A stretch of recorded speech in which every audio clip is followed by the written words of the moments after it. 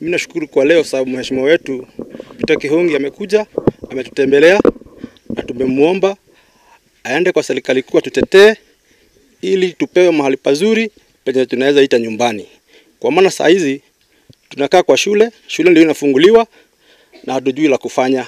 The lasting solution is to move these people from here.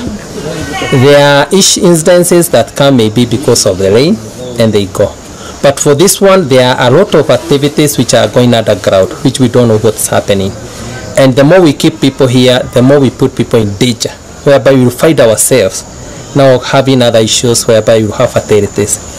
But for the time being, people are very happy because of the administration, because of the locals, they have agreed to move.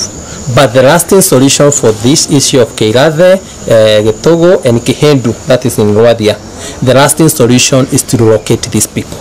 And there is not a big land, it's around uh, at most 30 acres, whereby we can see how His Excellency the President, His Excellency the Deputy President can see how we can work it out. Because this is not an issue like my Mai Mahiu. Mai Mahiu is an incident that was caused by water that had collected. This is an issue that is underground. When they were leaving this place, these cracks were not there. But now they are coming back after two days, they find other cracks. The houses have started moving. Therefore, we need to have a lasting solution for this area.